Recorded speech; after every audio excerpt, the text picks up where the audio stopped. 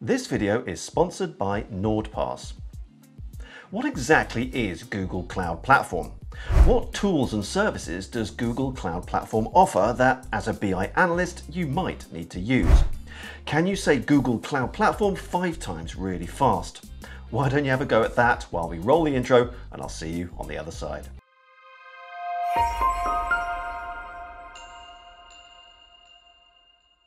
Not that easy, is it? Hello and welcome to Learn BI Online with me, Adam Finer, helping you do more with data.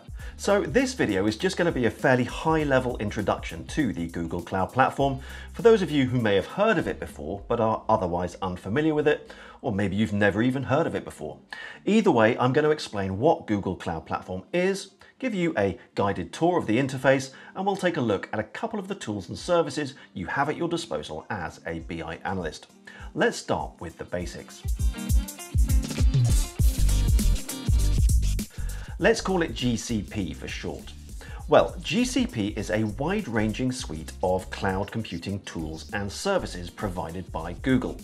These tools and services enable businesses, and individuals to build, deploy, and manage applications and services on Google's infrastructure. So basically, rather than investing in and installing these tools and services in-house, you can rent them from Google and they live in Google's cloud. Obviously, there are loads of benefits to renting as opposed to building in-house infrastructure, such as flexibility. If or when you no longer need a tool or service, you can simply cancel it. Whereas if, for example, you've bought a physical on-premise server and you didn't need it anymore, or you wanted to upgrade it, you might have to sell it. And by that time, it's probably lost a lot of its initial value. Another great benefit is that the tools and services you rent are very scalable. If you need more computing power, more virtual machines or storage, you can simply provision them with a few clicks and they're available straight away. It works in the opposite direction too. If you need to downscale something, you can. All of this ultimately means that there is great cost efficiency as well. Because GCP has a pay-as-you-go model, you only pay for the resources and services you use, which takes away from the need for upfront infrastructure investments, and lets you scale your costs based on your actual usage. Another of the benefits of a platform like GCP is that because the tools and services are hosted by Google, you get all of the reliability, availability, and robustness that comes with their huge global infrastructure. With on-premise infrastructure, if for example something goes wrong in the middle of the night, you'll more than likely need someone on hand to physically fix stuff. With GCP, everything is monitored constantly and there are systems in place like backups and redundancy, meaning there's little to no downtime at all. Then, of course, with GCP, you get access to all of Google's security infrastructure, both physical security at their data centers and other things like state-of-the-art encryption, DDoS protection, and threat detection and prevention. Obviously, with security, there's always a human element to consider as well, like compromised passwords, which is why you should check out the sponsor of today's video, NordPass. NordPass Business provides a hassle-free solution for accessing business accounts, allowing your teams to work uninterrupted across devices and apps to optimize workflow. Log into your accounts in seconds, securely share sensitive data with colleagues, and make payments efficiently, all backed by the highest standard of cyber-secure technology. With NordPass Business Password Manager, you can securely store, generate and access all of your passwords in one place, all done anytime, anywhere via an intuitive cross-platform interface.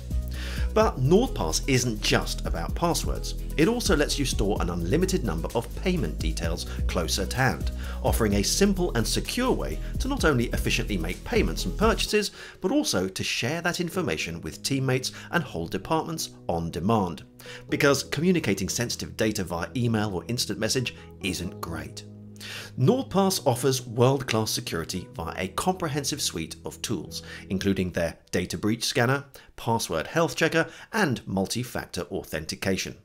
See NordPass Business in action now with a three-month free trial by going to nordpass.com slash adamfiner using the code adamfiner.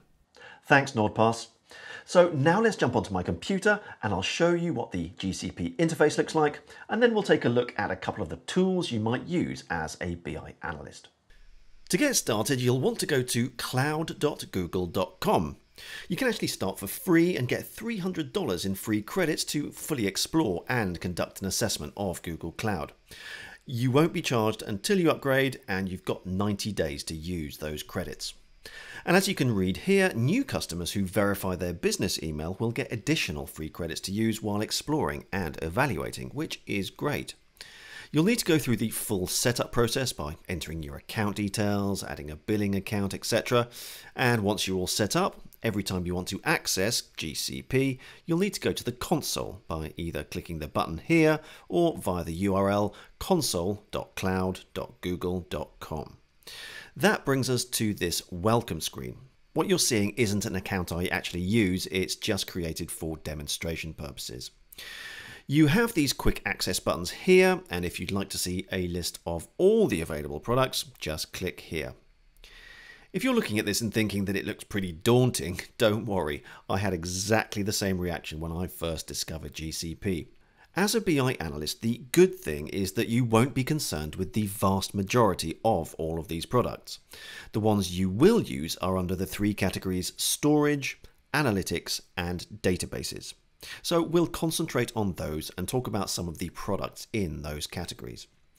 Let's start with cloud storage.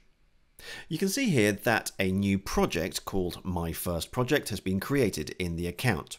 You'll need to have at least one project set up in order to create, enable, and use all of Google's cloud services. According to Google, a project organizes all your Google Cloud resources.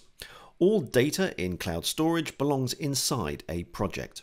A project consists of a set of users, a set of APIs, and billing, authentication, and monitoring settings for those APIs. So, for example, all of your cloud storage buckets and objects, along with user permissions for accessing them, reside in a project.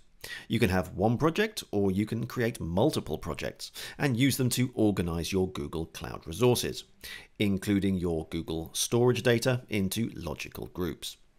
So all of your data will be stored in what are called buckets. Buckets can contain CSV, JSON, XML data files, through to other kinds of files like images, videos, emails, PDFs, there are a few limitations to the objects you can store, and I've left a link in the description so you can check those out. As a BI analyst, you will mostly be storing structured data like CSV files in your buckets. Once the data is uploaded, it can then be accessed by other GCP products, like the next ones we'll look at shortly. Let me quickly show you the process for creating a new bucket and then uploading data into it. The name you give your bucket must be globally unique, meaning that it can't exist already anywhere on GCP. I'm going to call this learn bi-csv data. You can then choose which region or regions you want your data stored in. You've got lots of options. I'm going to choose a single region in Paris because I'm in France. You then choose a storage class, which will be based on how often you'll want to access the data. Anywhere from standard, which is for frequently accessed data, to archive for data you won't need to access more than once per year. Or you could just select auto class and let Google optimize the data storage for you. Whichever you choose, you'll see the cost per gigabyte per month on the right here. I'm going to leave mine as standard, which costs just over 2 cents per gigabyte per month. Peanuts. Next, you choose how to control access to the objects in the bucket. This can be either uniform, so all objects have the same access controls, or fine-grained, where you can set different permissions for individual objects. Finally, you have optional protection tools and can decide between Google and customer controlled data encryption. Then hit create. You get this message saying public access to any data will be prevented. It says keep this setting enabled unless you have a use case that requires public access, such as static web hosting. You can change it now or later. Just make sure the option is checked and hit confirm. Our new bucket is set up and we can now upload files, folders or transfer data in and out from places like AWS and Azure.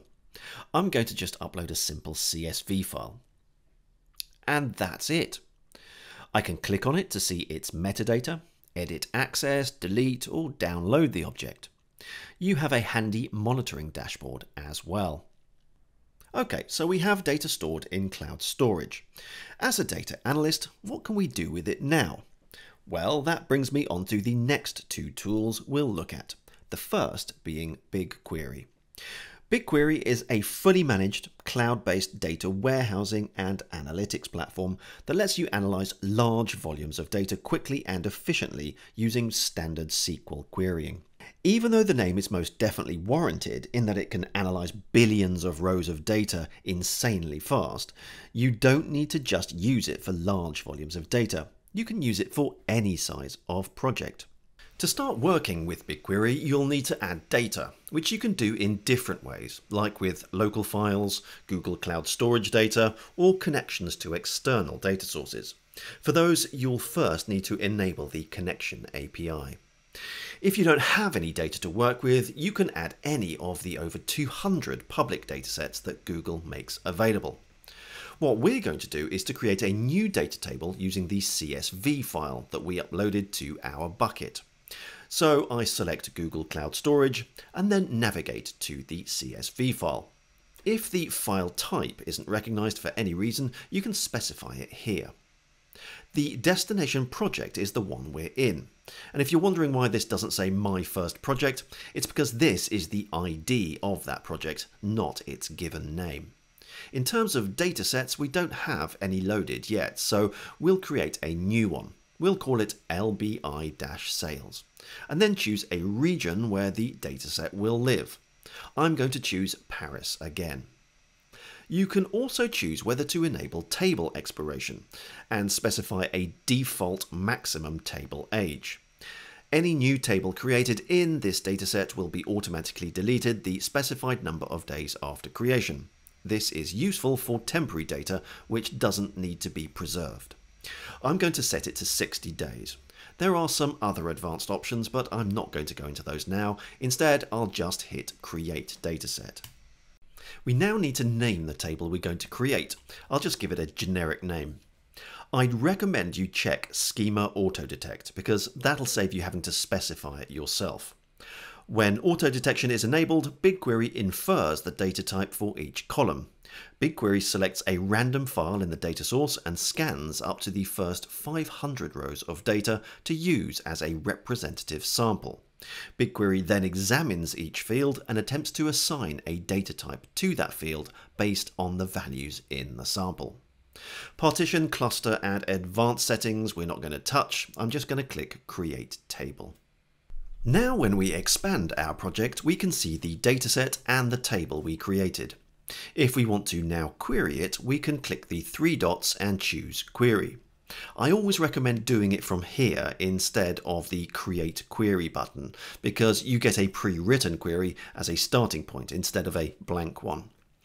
Once I write my query, you can see how much data will be processed by running it here. When I run the query, I see the result down here, which I can then save or explore in Sheets, Looker Studio, or Colab Notebook.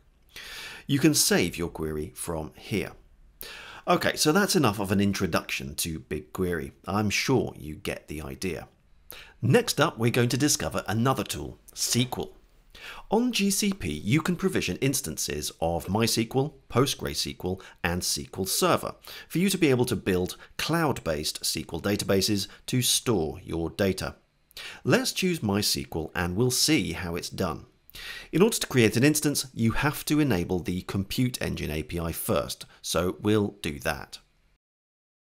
We'll give our instance a name, lbi-mysql, and generate a password. You could choose to have no password if you're just messing around, but otherwise it's not recommended. You choose the MySQL version you want, and then you have two pre-built configurations to start with, either production or development, the configuration details of which you can see here. But if you want more fine-grained control over your instance, you can specify the machine type and storage options here. You'll need to also specify a region. Another important setting is whether your instance will be private or public.